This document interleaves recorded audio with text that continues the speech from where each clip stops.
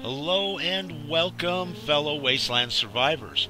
Thanks for coming, stopping in, hanging out with me today. I do appreciate it. We are at Tanner's Toy Factory. Now, I do have a video out on this, and most of you may have seen it by now.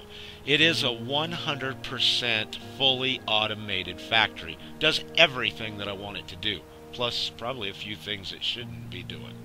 But uh, we'll pretend I didn't say that.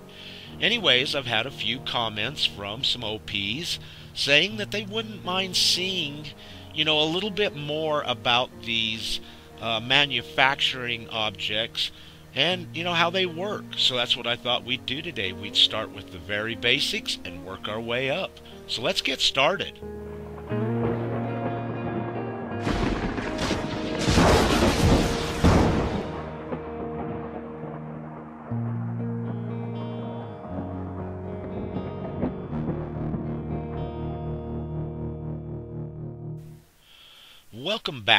Friends. I'm Dean, and I think what we need to do today to start off with is just take an overall look at everything that we can find uh, in this manufacturing section. We've got all kinds of conveyor belts, uh, ones with stands, ones that sit on the floor. We've got uh, conveyor elevators, we've got trip wires, there's little arms that'll help direct the flow of our objects while they're moving along the uh, conveyor belts. We've got all kinds of forges. There are 10 in total. And they do everything from make ammo to make clothes to make food, whatever. We've also got sorters. We've got all kinds of things. Now today what we're going to be mostly working with are the forges and some of the conveyors. So to start off with, I want to show the most simplest thing that you can build. One forge, one switch, one computer, and some power to power it. It will take 8 power to power the forge.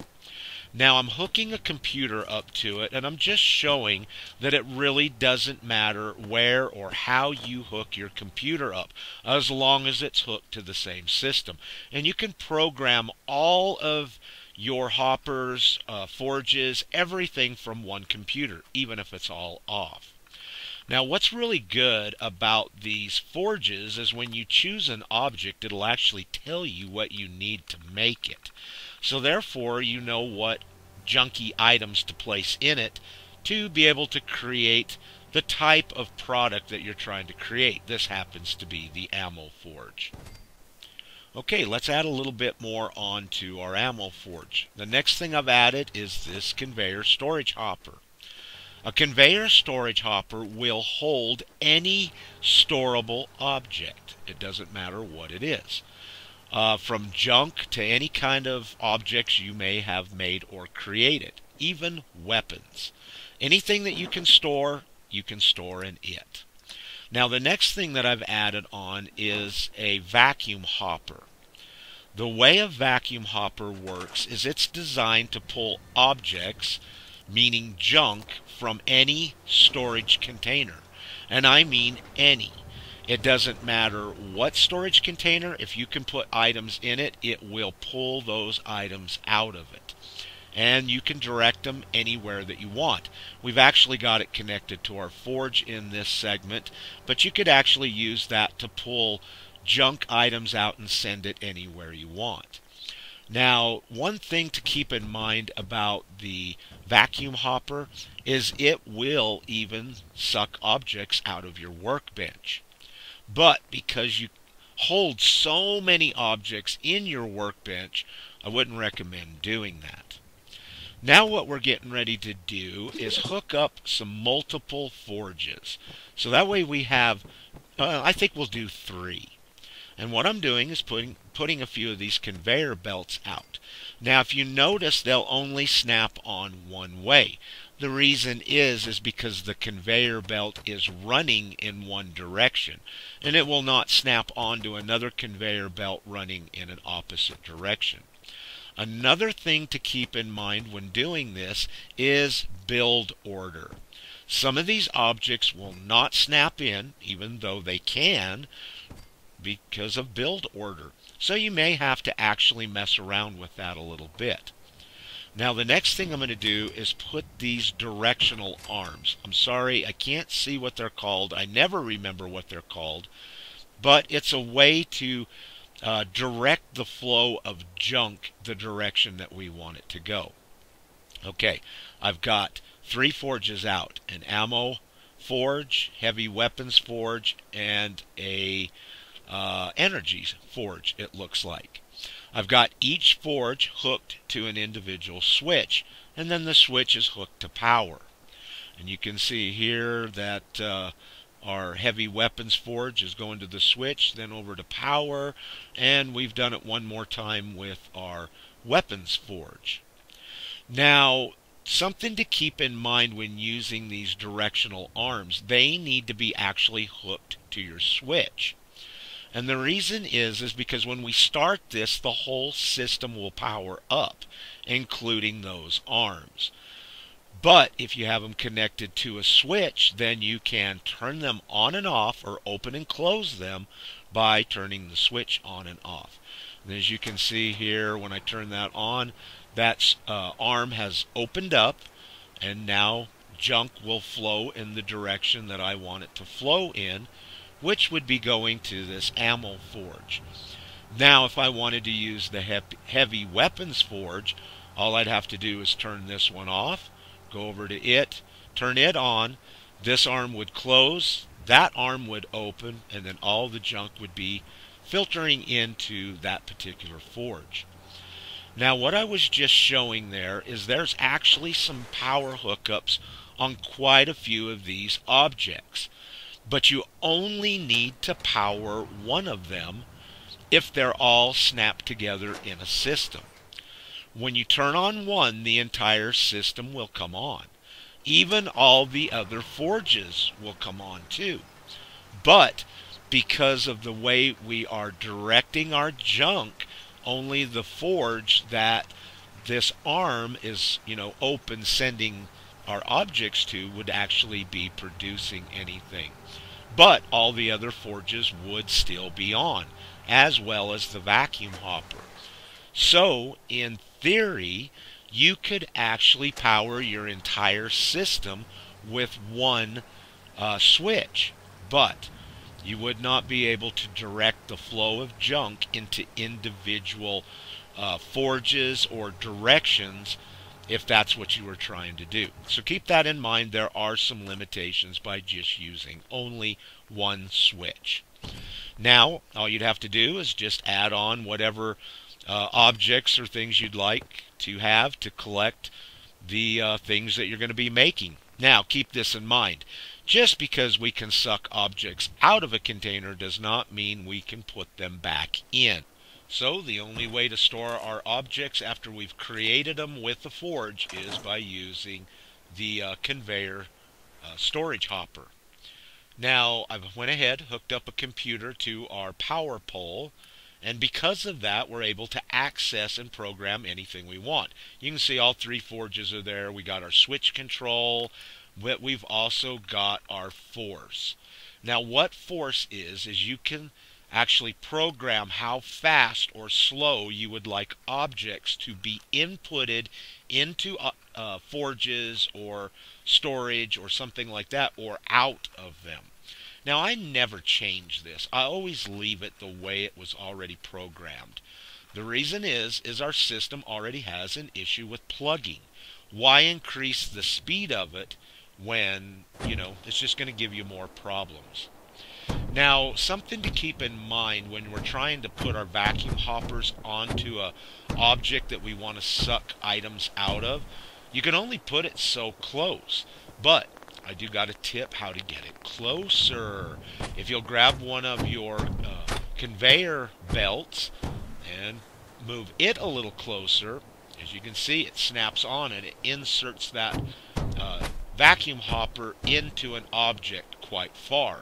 This is an excellent technique for snapping uh, these vacuum hoppers through walls or other objects and you can do that if, by using that little tip. This is how I was able to get everything so tight and so compact in Tanner's Toy Factory.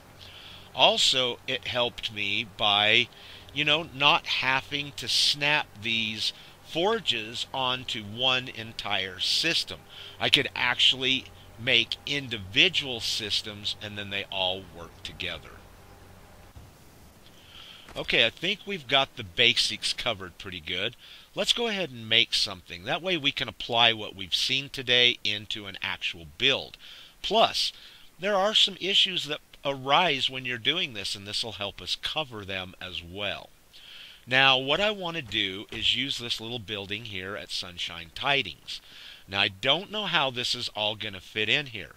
And these uh, objects have a pretty large collision area to them. And as you can see, even though that snapped, it was extremely hard to get it to snap in there because it's so close to the wall.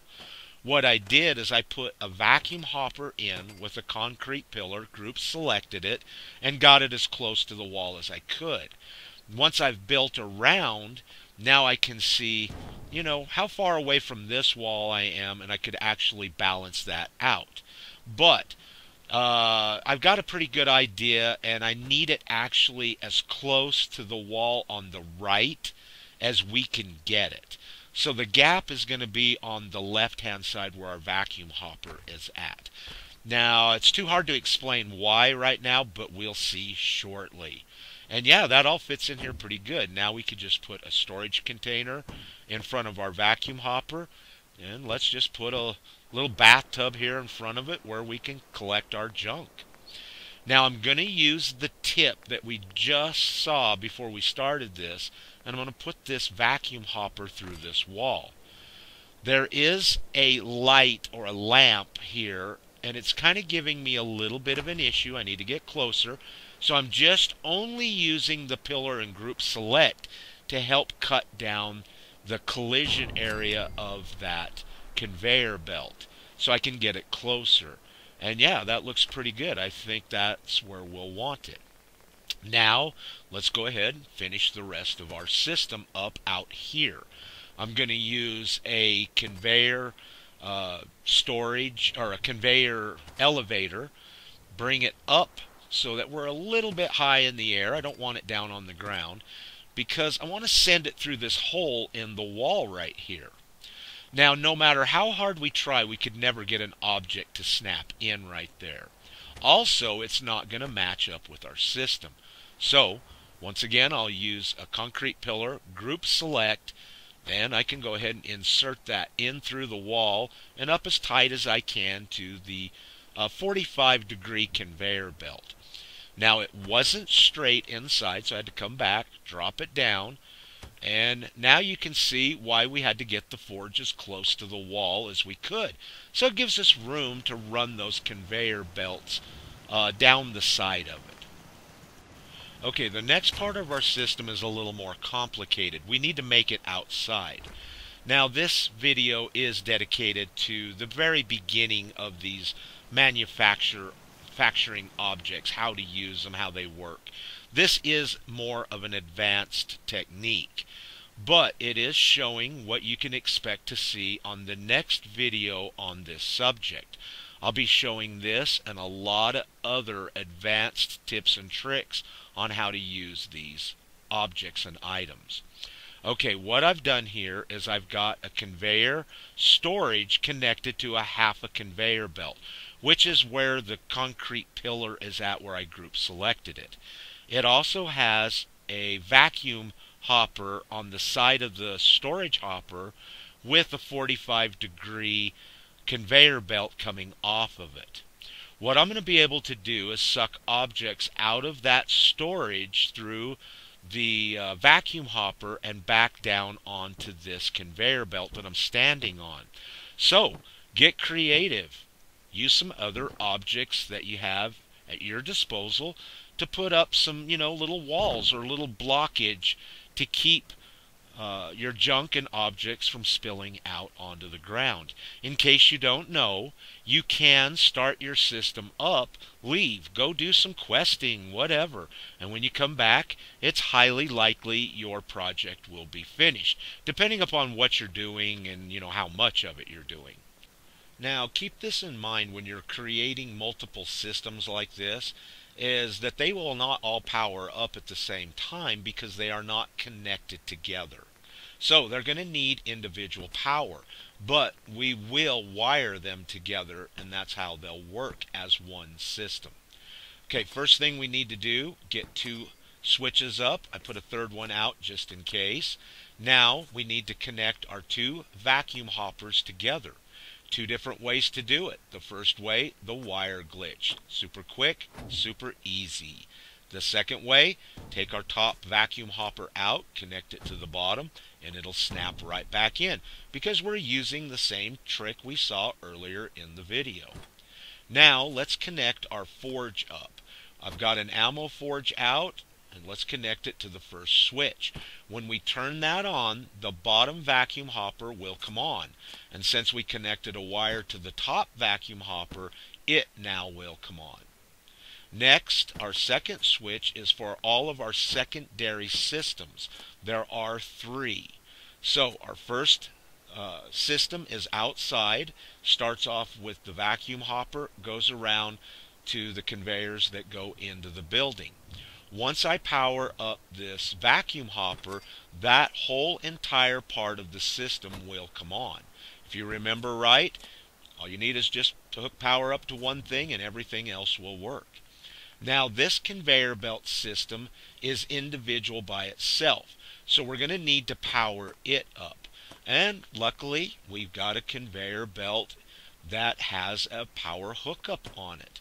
So this allows us to run individual systems like that. Now we'll connect that up to our secondary switch.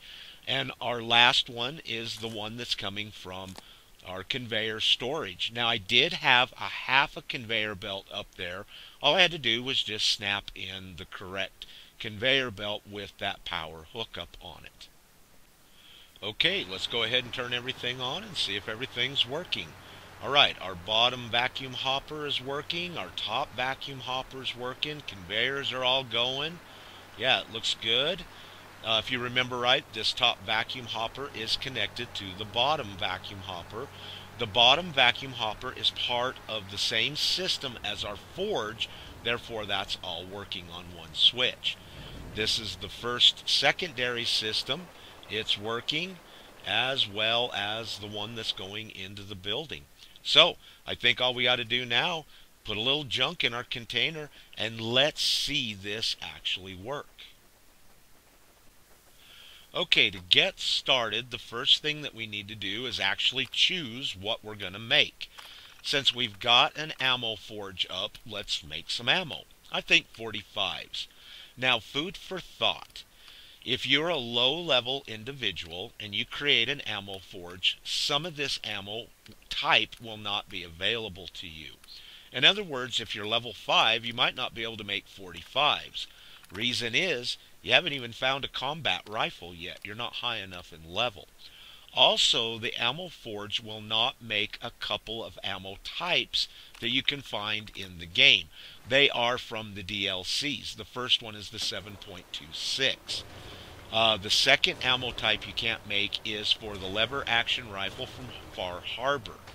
I don't never use one. I forget what caliber it is. I'm sorry. I apologize. So, let's turn on our forge and let's get busy.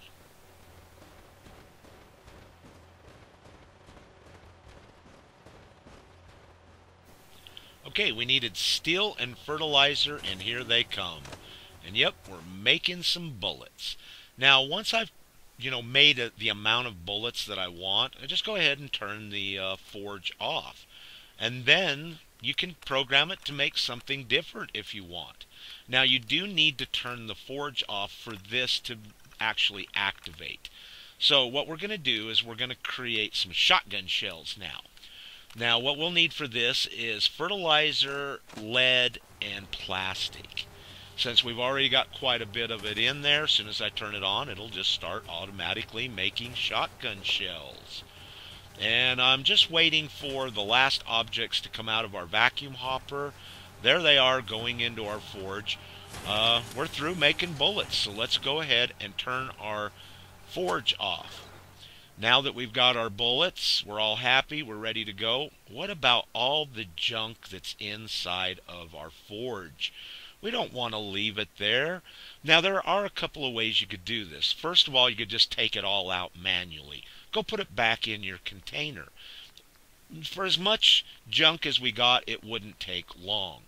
But I think we can do it cooler than that. What's what's cool in, you know, picking that all up and go putting it in a container. So let's pull uh, turn on our second switch, which runs our secondary systems, and the vacuum hopper starts pulling all the items out of the forge out here, and we're going to bring it back in, put it back into storage. And as you can see, that's all passing through that wall very nicely. Um, that 2 before that's there kind of you know, is ghosty, so things go right through it. Now, I did build this very quick. I didn't spend a lot of time adjusting everything. Because of it, some of my uh, objects are having a hard time getting into the containers.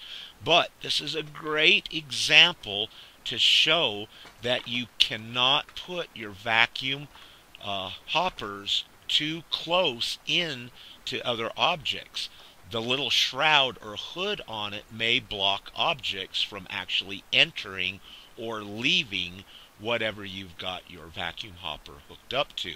So keep that in mind. You may have to adjust that a little bit. Okay, let's go in. Let's take a look. Here comes our last objects going back into storage. And now they're in storage. We can just go ahead and turn off that second switch and there's all of our items back into storage again. Now, if we decide to create something, all we got to do is turn on the number one switch, which runs our forge, and it starts sucking all the objects that we just stored out of that container back into our forge. And we can just sit there and rotate this around and around and make whatever you would like. Now, there's also another thing to keep in mind. With the way that this system is set up, you could actually use other forges. All you have to do is take it out. Choose the forge that you want, snap it in. Now we are very close to the wall, so it was hard to get it to snap in. But there we go. We got the heavy weapons plant in now. All we would have to do is just connect one wire from the forge up to the switch. Now the only way that I was able to do this, or you can do this, is if you take your vacuum hopper out that you inserted into it outside. So if any objects are penetrating it, it would not snap back in. Keep that in mind when you're doing this. Once again, once we're done, just hook that one wire up, turn on your switch, starts feeding all of the objects from your storage back into it, and create whatever you'd like. Okay, ladies and gentlemen, I think that's about it for today's video.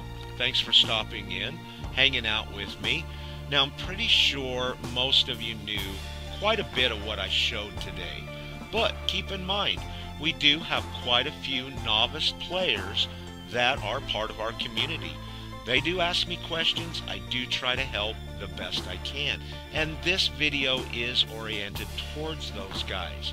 But I'm not forgetting about you other more advanced builders. The next video will have serious tips and tricks on this subject. So I hope I see you then. All right, everybody, thanks for stopping in. I do appreciate your precious time. And just like always, until next time, please stay safe and peace.